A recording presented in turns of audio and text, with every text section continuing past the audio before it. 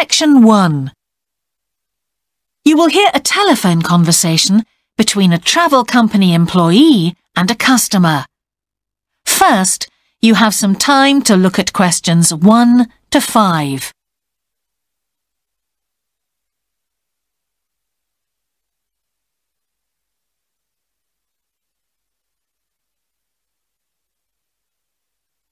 you will see that there is an example that has been done for you. On this occasion only, the conversation relating to this will be played first. Greek Island Holidays, can I help you? Yes, I hope so.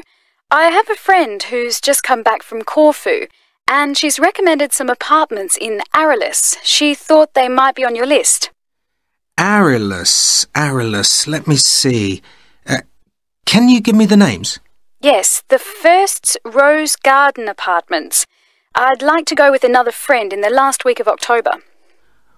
Well, we've got a lovely studio flat available at that time.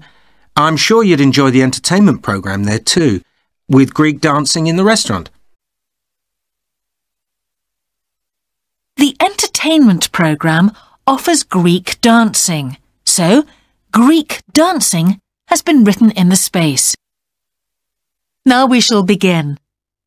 You should answer the questions as you listen, because you will not hear the recording a second time. Listen carefully and answer questions 1 to 5. Greek Island Holidays, can I help you? Yes, I hope so. I have a friend who's just come back from Corfu and she's recommended some apartments in Arilus. She thought they might be on your list. Arilus, Arilus, let me see. Uh, can you give me the names? Yes, the first's Rose Garden Apartments. I'd like to go with another friend in the last week of October. Well, we've got a lovely studio flat available at that time. I'm sure you'd enjoy the entertainment programme there too, with Greek dancing in the restaurant. And the cost for each of us? £219. That sounds very reasonable. I'm just jotting down some notes. Now, the second one she mentioned was called Blue Bay. Blue Bay. Yes, in fact, that's very popular and it has some special features. Really? The main attraction is the large swimming pool with salt water. Mm, much healthier, I understand. That's right. And it isn't far from the beach either, only 300 metres. And only around half a kilometre to some shops, so you don't have to be too energetic. Is it much more expensive than the first one? Let me just check. I think at the time you want to go, it's around £260. Uh, no, £275 to be exact. Right, I've got that. Now, there are just two more apartments to ask you about, um, I can't read my own writing. Something to do with sun, sunshine, is it? I think you meant the sunshade apartments. They're on a mountainside. Any special features? Yes, each room has its own sun terrace and there are shared barbecue facilities. Oh, sounds lovely. Yes, it is rather well equipped.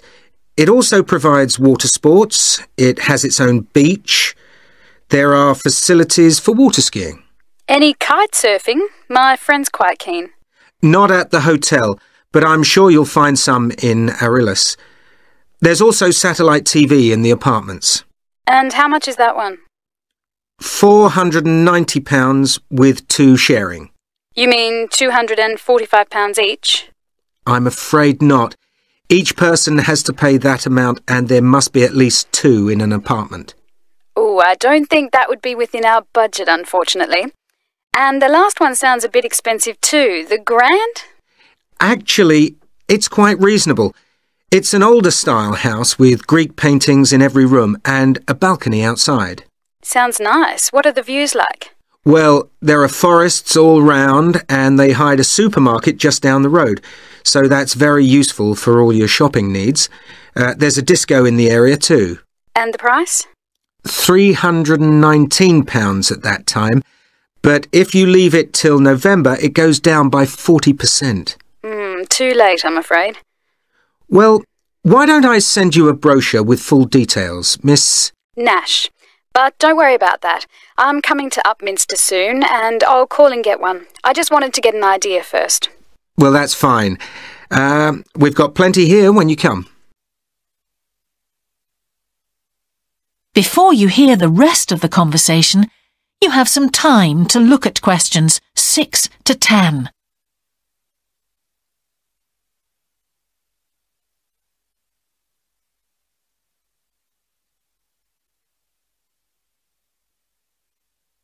Now listen and answer questions 6 to 10. If you've got a minute, could I just check a couple of points about insurance? I got one policy through the post, but I'd like to see if yours is better. Fine. Uh, what would you like to know? Well, the one I've got has benefits and then the maximum amount you can claim. Is that like yours? Yes, that's how most of them are. Well, the first thing is cancellation. If the holiday's cancelled on the policy I've got, you can claim £8,000. We can improve on that, Miss Nash. Uh, for Greek island holidays, our maximum is £10,000. That's good. Of course, our holiday won't even cost £1,000 together. It's still sensible to have good cover. Now, if you go to hospital, we allow £600. Yes, mine's similar. And we also allow a relative to travel to your holiday resort? My policy just says their representative will help you. You can see there's another difference there. And what happens if you don't get on the plane? Uh, nothing, as far as I can see on this form. Don't you have uh, missed departure? No, I'll just jot that down. We pay up to a thousand pounds for that, depending on the reason. And we're particularly generous about loss of personal belongings, up to three thousand pounds, but not more than five hundred pounds for a single item. Then I'd better not take my laptop. Not unless you insure it separately. Okay, thanks very much for your time. You've really been helpful. Can I get back to you? Your name is. Ben Ludlow. That's L U D L O W. I'm the assistant manager here. I'll give you my number. It's 081 260 543 216. But didn't I phone 081 260 567 294? That's what I've got on the paper. That's the main switchboard. I've given you my direct line. Right. Thank you very much for your time. That is the end of section one. You now have half a minute to check your answers.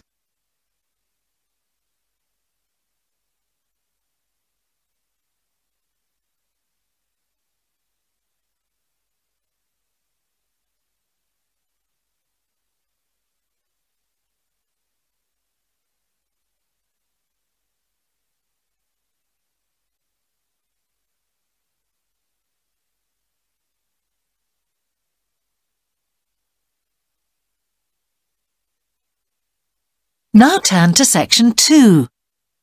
Section 2. You will hear a talk on local radio about a children's theme park. First, you have some time to look at questions 11 to 13.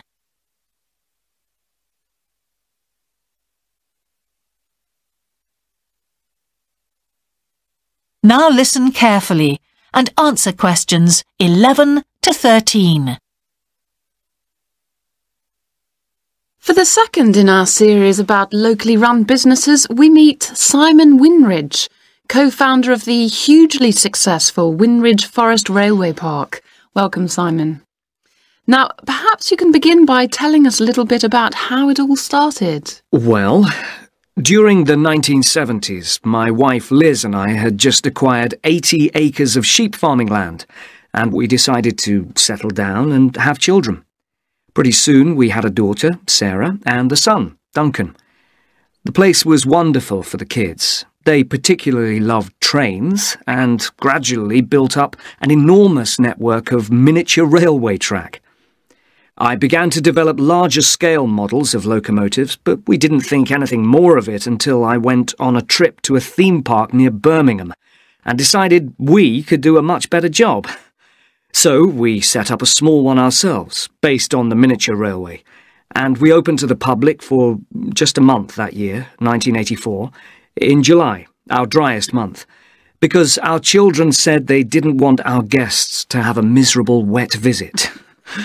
I dealt with park business and Liz carried on with the farm work. It soon became clear that we were onto a winner. We began to extend the railway track and lay it among more interesting landscape by planting trees, which in turn attracted more wildlife, and by making cuttings through the rock. Uh, nowadays, we're open all year round, and we're pleased to say that Winridge is one of the most popular visitor attractions in the area, with 50,000 visitors a year. A million and a half people have been through our doors since we opened. Before you hear the rest of the talk, you have some time to look at questions 14 to 20.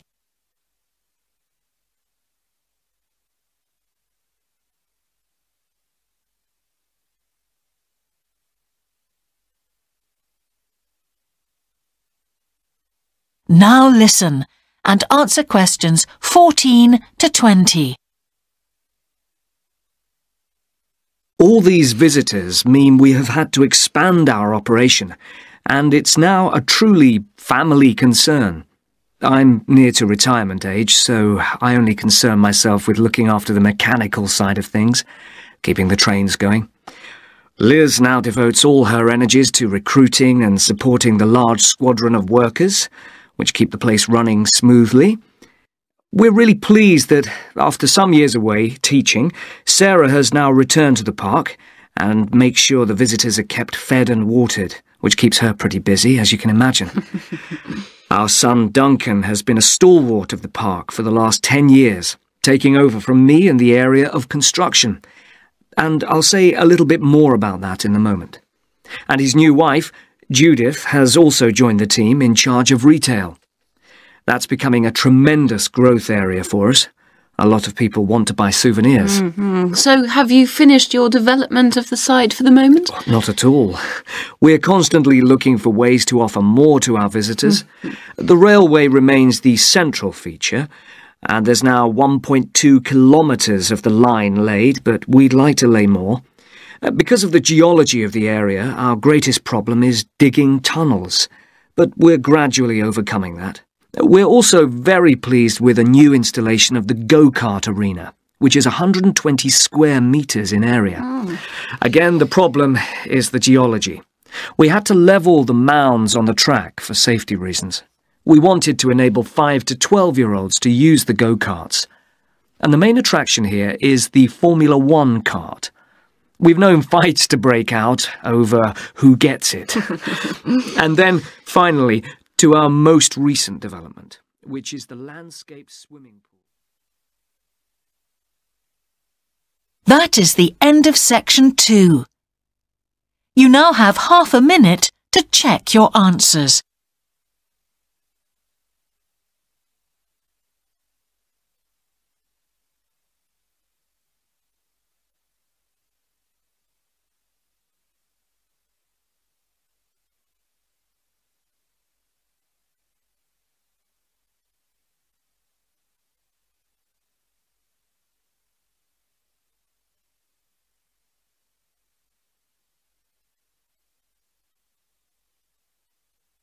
Now turn to section 3.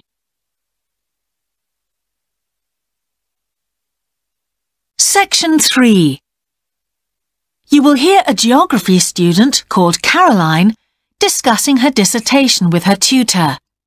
First, you have some time to look at questions 21 to 23.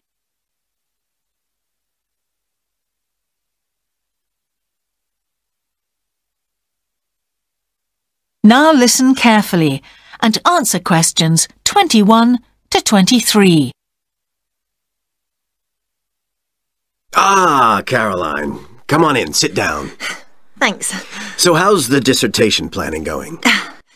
Well, Dr. Shulman, I'm still having a lot of trouble deciding on a title. Well, that's perfectly normal at this stage. And this is what your tutorials will help you to do. Right. What we'll do is jot down some points that might help you in your decision. First of all, you have chosen your general topic area, haven't you? Yes, it's the fishing industry. Oh, yes, that was one of the areas you mentioned. Now, what aspects of the course are you good at? Well, I think I'm coping well with statistics, and I'm never bored by it. Good. Anything else?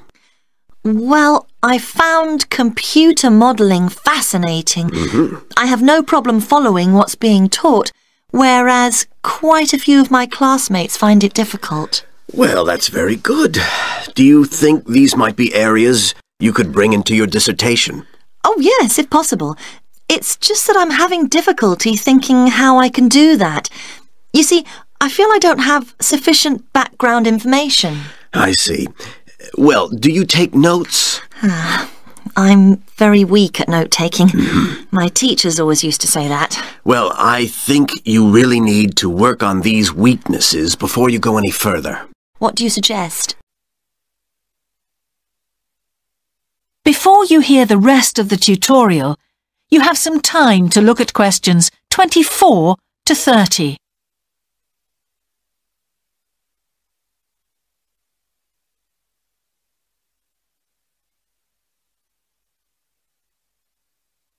Now listen and answer questions 24 to 30. Well, I can go through the possible strategies with you and let you decide where to go from there. Okay, thanks. Well, some people find it helpful to organize peer group discussions. You know, each week a different person studies a different topic and shares it with the group.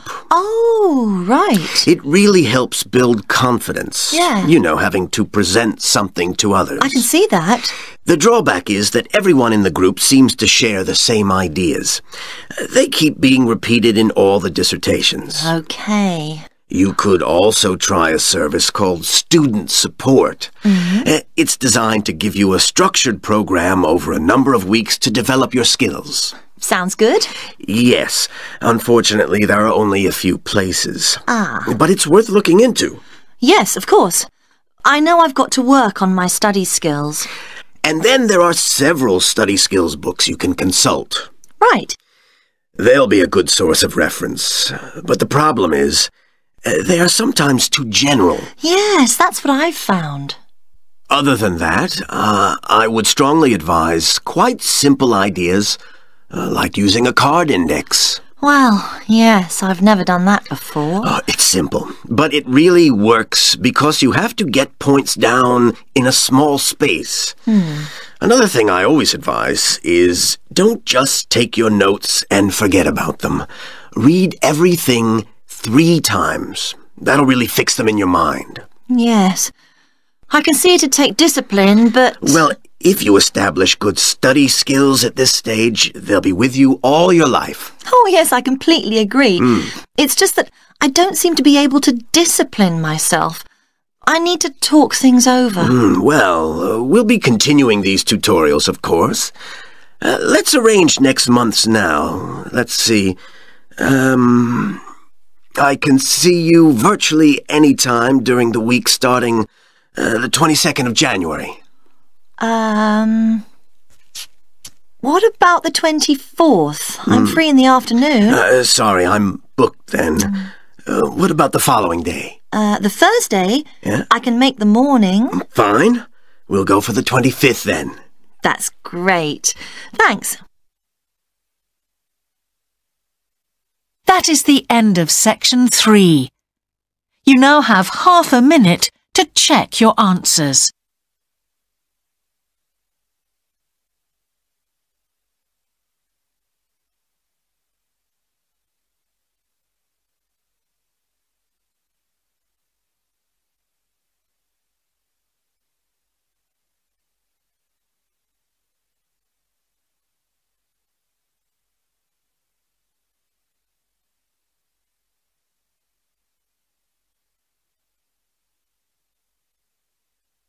Now turn to section four.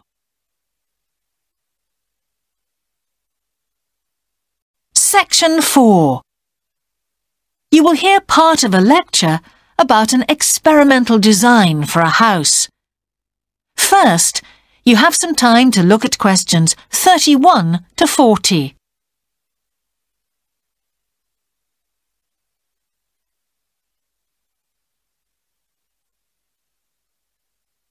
Now listen carefully and answer questions 31 to 40. Good morning. In the last few lectures, I've been talking about the history of domestic building construction. But today, I want to begin looking at some contemporary experimental designs for housing. So, I'm going to start with a house which is constructed more or less under the ground. And one of the interesting things about this project is that the owners, both professionals but not architects, wanted to be closely involved, so they decided to manage the project themselves. Their chief aim was to create somewhere that was as environmentally friendly as possible. But at the same time, they wanted to live somewhere peaceful. They'd both grown up in a rural area and disliked urban life. So the first thing they did was to look for a site, and they found a disused stone quarry in a beautiful area. The price was relatively low, and they liked the idea of recycling the land, as it were. As it was, the quarry was an ugly blot on the landscape, and it wasn't productive any longer either. They consulted various architects and looked at a number of designs before finally deciding on one. As I've said, it was a design for a sort of underground house, and it was built into the earth itself, with two stories. The north, east, and west sides were set in the earth, and only the sloping south-facing side was exposed to the light. That was made of a double layer of very strong glass. There were also photovoltaic tiles fixed to the top and bottom of this sloping wall. These are tiles that are designed to store energy from the sun. And the walls had a layer of foam around them too to increase the insulation.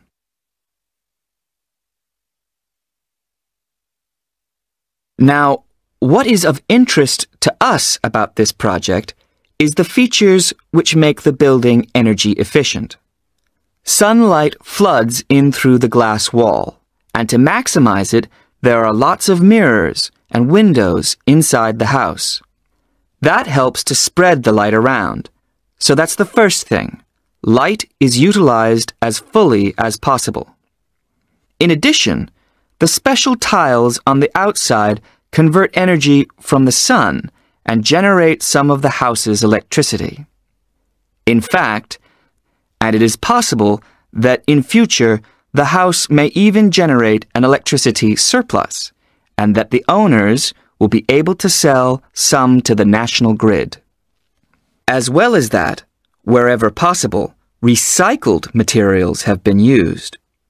For example, the floors are made of reclaimed wood, and the owners haven't bought a single item of new furniture.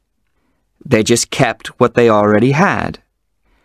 And then there's the system for dealing with the waste produced in the house. This is dealt with organically. It's purified by being filtered through reed beds which have been planted for that purpose in the garden. So the occupants of the house won't pollute the land or use any damaging chemicals. It's true that the actual construction of the house was harmful to the environment, mainly because they had to use massive amounts of concrete, one of the biggest sources of carbon dioxide in manufacturing. And, as you know, this is very damaging to the environment. In total, the house construction has released 70 tons of carbon dioxide into the air. Now that's a frightening thought. However, once the initial debt has been cleared and it's been calculated that this will only take 15 years, this underground house won't cost anything, environmentally, I mean, because unlike ordinary houses, it is run in a way that is completely environmentally friendly. So, eco-housing like this is likely to become much more. That is the end of section four. You now have half a minute to check your answers.